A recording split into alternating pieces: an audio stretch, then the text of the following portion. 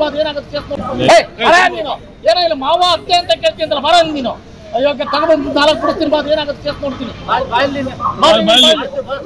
ಬಾಯಲ್ಲಿ ಸ್ಟ್ಯಾಂಡ್ ಇದೆ bus stand ಬಾ. ಏನೋ ಓಲಿ ಏ ಬಾರಯ್ಯ ನೀನು ಇಲ್ಲಿ ಸುಮ್ಮನೆ ಫಸ್ಟ್ ಬರಯ್ಯ ನೀನು.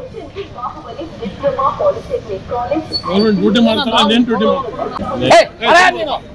ಮಾವ ಅತ್ತೆ ಅಂತ ಸರಿ ಎಲ್ಲದನ್ನು ಅರೇಂಜ್ ಮಾಡೋದು ನಿನ್ನೆ ಇದು ತುಂಬಾ ಉತ್ಪನ್ನ ಆಗ್ತಾ ಇದೆ. ನಾಳೆ ಬೆಳಿಗ್ಗೆ ನೀವು ಸುಮ್ಮನೆ ವಿರುದ್ಧ ಸ್ಟ್ರೈಕ್ ಮಾಡೋದು ಇದೆಲ್ಲ ಆಗ್ತಾ ಇದೆ. ಪಬ್ಲಿಕ್ ರಚಿಕೆದಿದ್ದಾರೆ ಸ್ಟೂಡೆಂಟ್ಸು ಟೀಚರ್ಸು ಇದೆಲ್ಲ ಇದಕ್ಕೆ ಅವಕಾಶನ ಮಾಡಬೇಡಿ.